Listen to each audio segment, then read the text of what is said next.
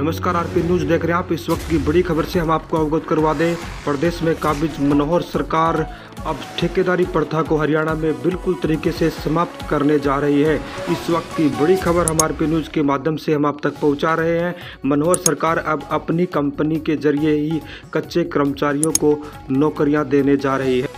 इस फैसले से निश्चित तौर पर कच्चे कर्मचारियों ने एक राहत की सांस ली है, क्योंकि ठेकेदारी प्रथा से वो बिल्कुल तरीके से तंग आ चुके थे। ठेकेदार जो है वो एक तरीके से कच्चे कर्मचारियों का शोषण कर रहे थे। तो ये बड़ी खबर आरपी न्यूज़ के माध्यम से कि मनोहर सरकार अब हरियाणा में ठेकेदारी प्रथा को पूर्णतया बंद करने का फैसला लिया है। इस फैसले के बाद हरियाणा में कर्मचारियों को ठेकेदारी प्रथा से मुक्त किया जा रहा है। आउटसोर्सिंग में सभी कैटेगरी की नौकरियाँ अब कौशल रोज़गार निगम बोर्ड के ज़रिए मिलेंगी मंत्रिमंडल की बैठक में ये अहम फैसला लिया गया है। यह फैसला बोर्ड, निगमों व विश्वविद्यालयों पर भी लागू किया जाएगा।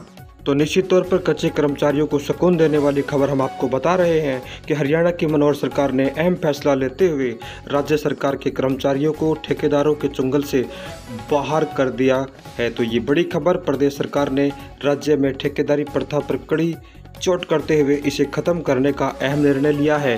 अब आउटसोर्सिंग से जुड़ी सभी प्रकार की भर्तियाँ अब सरकार ही करेगी, यानी ठेकेदार का रोल अब बिल्कुल तरीके से ख़त्म हो जाएगा। इसके लिए कौशल रोज़गार निगम नामक खुद ही की कंपनी सरकार बनाने जा रही है। मुख्यमंत्री मनोहर लाल की अध्यक्षता में गत दिवस हुई मंत्रिमंडल की बैठक में यह निर्णय लिया गया है। ठेकेदारी प्रथा खत्म करने की को भाजपा चुनावी मुद्दा भी बनाती रही है। कर्मचारियों के संगठन भी ठेकेदारी प्रथा के विरोध में है। उनका आरोप है कि ठेकेदार किसी भी कर्मचारी की भर्ती के लिए सरकार से अधिक पैसा लेते हैं और कर्मचारियों को कम देते हैं।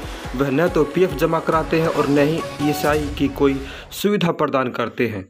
वर्ष 2014 के विधानसभा चुनाव में ठेकेदारी को खत्म करने के लिए घोषणा पत्र में भी शामिल किया गया था। अनिल विज भी ठेकेदारों के माध्यम से विभागों, बोर्डों व निगमों में नौकरी लगाए जाने का विरोध करते हुए इसके खिलाफ सीएम को वो बार बार पत्र भी लिख चुके थे। इस फैसले से आउटसोर्सिंग की नीतियों के तहत रोज़गार लेने वाले युवाओं का शोषण होने से भी अब निश्चित तौर पर बचेगा। मनोहर लाल ने बताया कि कैबिनेट ने दो करोड़ रुपए की इक्विटी शेयर के साथ कंपनी की स्थापना की मंजूरी भी दे दी है।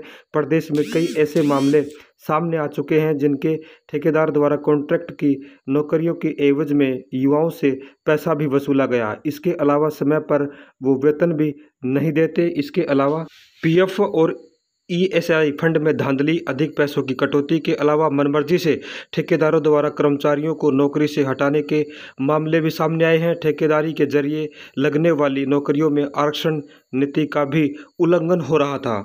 और इन्हीं मुद्दों को ध्यान में रखते हुए मनोहर सरकार ने खुद की कंपनी के ज़रिए रोज़गार देने का फैसला लिया है। कौशल विकास एवं औद्योगिक प्रशिक्षण विभाग के प्रशासनिक नियंत्रण में यह कंपनी काम करेगी। अब सभी विभाग, बोर्ड, निगम व यूनिवर्सिटी व सरकार के समावित्व वाले संगठनों में कुशल, अर्धकुशल और अन्य मानव शक्ति की डिमांड इस निगम को भेजनी होगी। निगम आवश्यक योग्यता व अनुभव के अनुसार युवाओं का चयन कर विभाग व बोर्ड निगमों की ज़रूरत भी पूरी